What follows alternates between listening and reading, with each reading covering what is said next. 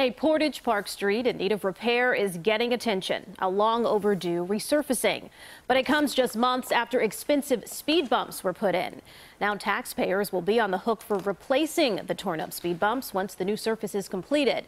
It has some residents asking why the first speed bumps didn't come after the road was resurfaced. Our CBS 2's Charlie De Mar finds out why it happened in this original report.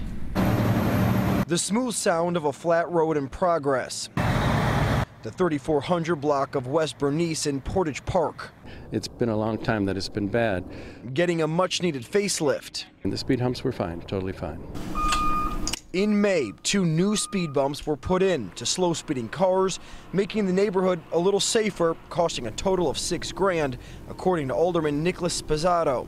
Now, great, they're resurfacing the street, and they have to take the speed humps out already.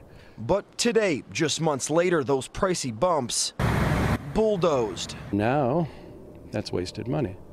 Portage Park resident Jeff Hellier says that's not all. Once the street is resurfaced, those speed bumps will return. It's a waste of 6000 originally, and apparently another 6000 is going to have to be spent to replace them. The alderman says this year he requested for both the street to get resurfaced and for new speed bumps, but the order in which they arrived wasn't quite right. Why not have resurfaced the street and then put in the speed humps all at once? If there was more money that could be used more wisely, then possibly everybody would simply be happier and things would run more efficiently.